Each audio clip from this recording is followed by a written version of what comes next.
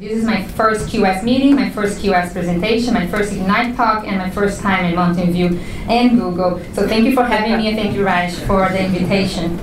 Um, so the idea for this presentation came last December when my sister and I went for our annual checkup. As you can see, I am um, I have an identical twin, and uh, as we were sitting there, I just decided to once and for all answer a question that has been bugging me for a while, which is.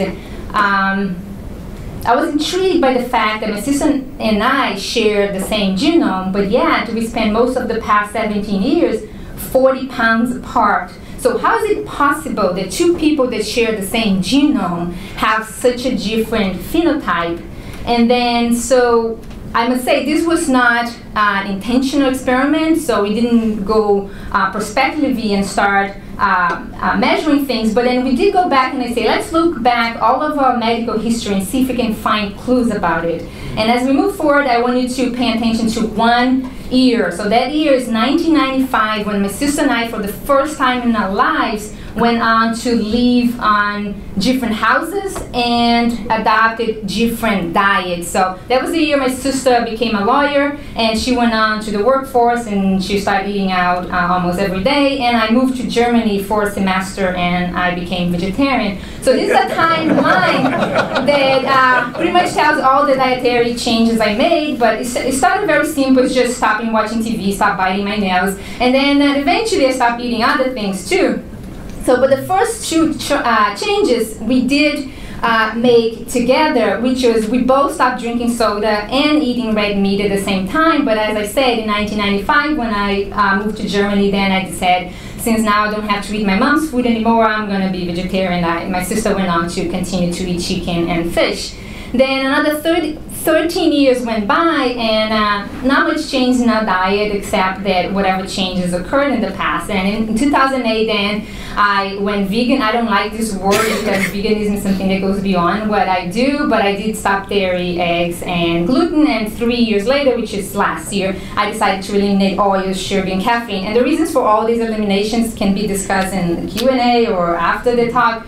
But that's basically the baseline, and that's what is the difference. So um, the first result I'm going to be presenting is what we got by using the app Lose It that most of you probably know. And I started using in 2008 when I went vegan, even though I don't like the word. Um, and, I, and the reason is because everybody was bugging me about you're not having enough protein, you're not having enough protein. So I started tracking it. And a year later, my sister joined me, and for five weeks, we tracked everything we ate every single day together. And you cannot see what we eat, but believe me when I say it's pretty much the same uh, type of food, uh, same types of vegetables in amounts, except for two things. My sister was still eating fish and some egg whites, and I was eating massive amounts of nuts, which I don't do anymore. But when you first convert to veganism, that's what you do, because you think you need the protein and you need all the source. So what you see in the next next slide is that uh, I think it's a green line. Our protein intake was pretty much the same, but our fat intake, which is the other line, I believe is the blue, uh, was very different. So my sister managed to lose twice as many pounds in the same amount of time, while I have 70% of her calories come from starch, and we believe that is because I was eating three times more fat than she is. But the first lesson that we learned, which is what I wanted to learn, is that plant-based diets may be high in protein, and that's what my way of showing the whole family see. Uh, we have different diets, but we still eat the same amount of protein. And again, I don't even think we all need 20% of protein, but that's what we ate. Uh, the second lesson we learned is that focusing on the type of food we eat is a lot more important than counting calories. And that's what my sister spent most of her time, or the past 17 years, trying to do is counting calories to lose weight. So 500 calories from vegetables are a, a, a, whole lot different than 500 calories from sugary foods and fried foods, so on and so forth. The third lesson we learn is something that everybody knows but we don't like to admit is healthy fats are fats and they contribute to weight gain and they slow our weight loss. And I was at a point that I didn't need to lose weight so it was okay, but that was the point. So the next few slides are going to show something else that we did. So we went back to 1995 when we split our environment and our lifestyle, and we noticed that we did start with the exact same weight.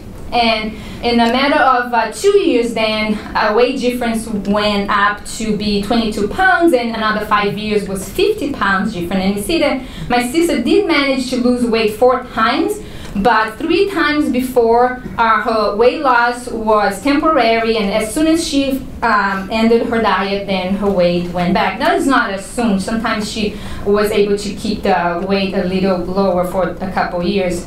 But you see, so those are all the attempts. So the first one was Weight Watchers, then it was Weight Watchers and protein shakes, then fasting. Then the last one is the one that was the most dramatic, and believe it or not, is the, the one time that she started mimicking my own diet. That's when she eliminated oils and sugar, and she didn't eliminate fish, but she eliminated gluten and something else that I won't remember. But that's when she her weight got the closest to where I am.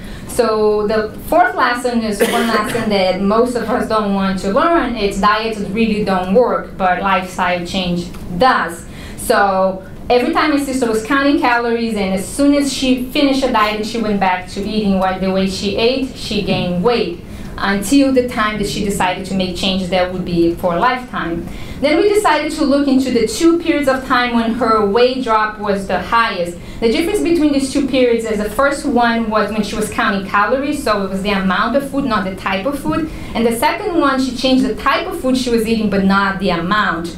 And you're going to see, and we did some overlay. So when you see our, uh, our total cholesterol, we see that the first period when she was just concerned about the amount of food, but not the type of food, that her, to her total cholesterol actually went up. And in the second period of time, when she changed what she was eating, then cholesterol started going down, and she was still losing weight.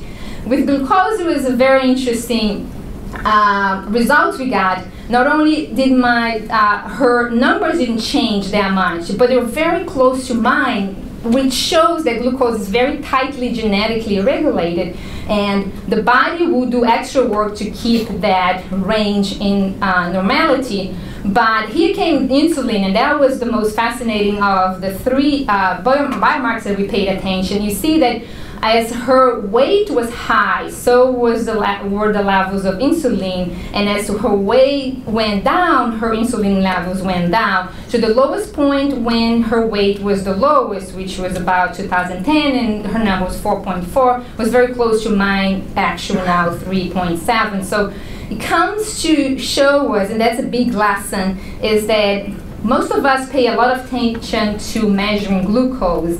And uh, ex except for type 1 diabetics, they cannot measure insulin. Insulin seems to be a much better marker because it's really showing how hard our metabolism has to work to keep that glucose under normality. So, and I have to do a disclaimer here. This is a stock photo. My sister's not that overweight, and I'm not that skinny. So, she wanted me to clarify that before. So, so when it comes to complex traits, we can see that genes do play a role but environment is the major player.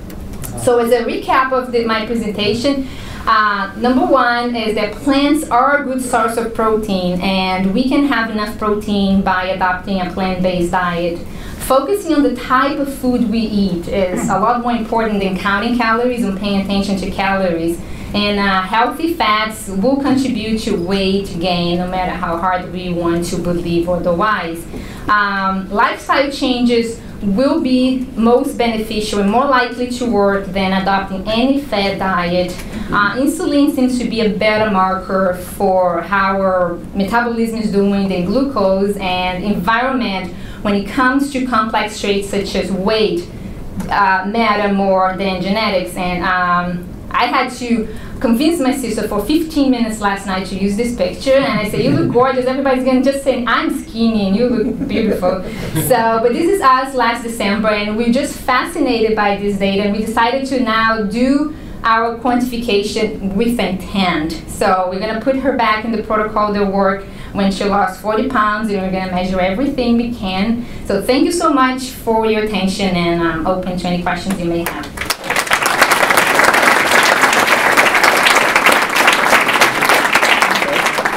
Yeah, really interesting presentation. On, on your slide that showed the, um, the insulin changes, um, it looked like your insulin levels yes. varied quite a bit as well. Yeah. And, and to what do you attribute that?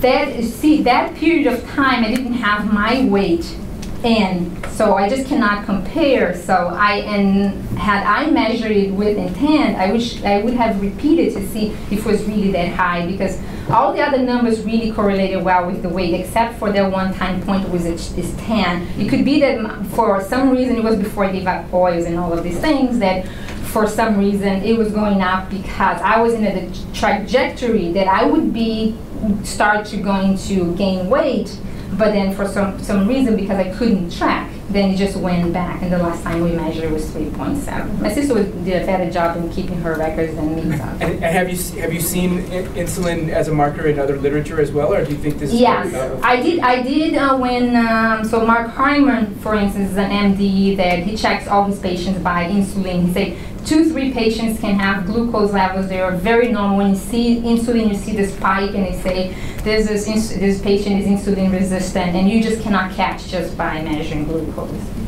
Okay. Uh, uh, I hope I'm not offensive, but uh, the scientist in me would want to know that have you verified that you actually are identical twins? yeah. No, we have not. That's a very good question.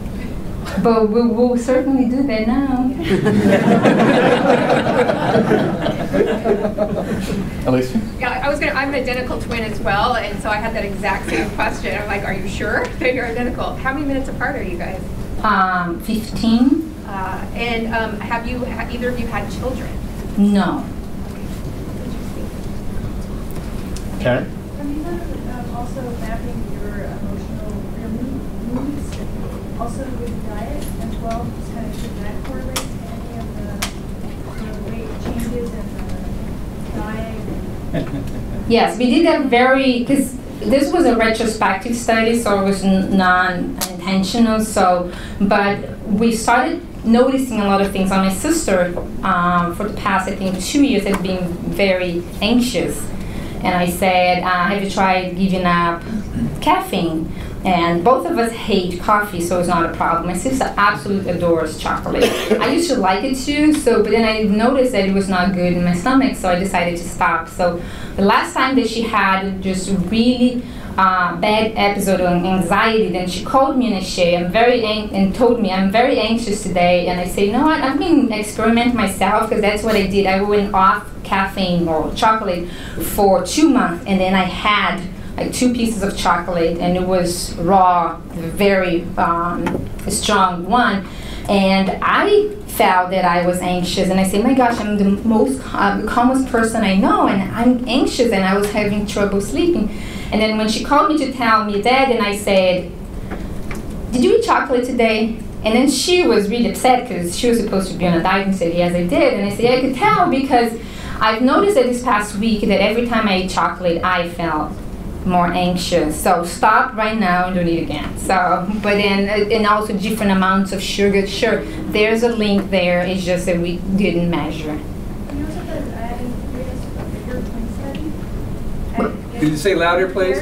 Have you gone getting other pairs of twins? No, this was just uh, last December, just for fun. And I say, you know what? We have to learn from these 17 years and we, sh- we should do something about it. And then right now, when we start talking, eh, especially where I work at UC Davis, and they have the way of uh, measuring everything, and now everybody wants to measure us, and they want to put uh, kind of uh, wearable devices. And I say, let's do it, and we're gonna measure everything while she's on a diet. And I already told her, come and we'll do it. Steve. Um, did either of you, at any point during this uh, experiment, use coconut oil as a vegetarian fat? Yes, I did. Uh-huh. Did you have any weight loss during that period of time? I was just adding because it was the, the oil I would use to bake. Um, but I, I cannot answer that question. It was just because whenever I baked, that was the oil I was using. But that's all I know. Yeah, I was just wondering if you could talk a little bit about what drove some of your dietary changes, and then also you talk about anxiety. Did you notice any other cognitive changes, improvement or otherwise, with dietary changes? For the two of us, well, um, well, more specifically for you, as you as you started uh, to take more and more things out of your. Oh yeah, big changes. So um, I decided to become vegetarian just for ethical reasons, and uh, I don't know if this is the right word to use. And then I happened to have attended, um, gone to a vet school, and then um, so when I started seeing animals being killed, I say I can't do that, and then I, that's why I decided to work with dairy cattle, and then after I started doing more research on cancer and leukemia and start working on nutrition genomics, then I said there's no reason for us to be eating baby food at age 35. There's a reason why the mothers produce milk for a certain period of time. There's no reason for me to continue to eat other babies' food from their mother, so that's why I decided to stop. And then the gluten, I noticed that it was just out of the blue that I noticed that I, for my whole life, I had trouble digesting and I never really pay attention because I think my system was a little cleaner. It was boom, I would eat in five minutes, I would be bloated, and I say gluten needs to go out. But I can say that our body has this ability to try to cope with everything because my sister, is, she's off gluten, she does a lot better, and then she goes back, and then for the first week she suffers, and then she goes back. So we'll function, but at not at the optimal rate. And then oil, sugar, and caffeine we can discuss later. So because we have another presenter, right? Yeah. Great, thank you, Rosane. Uh,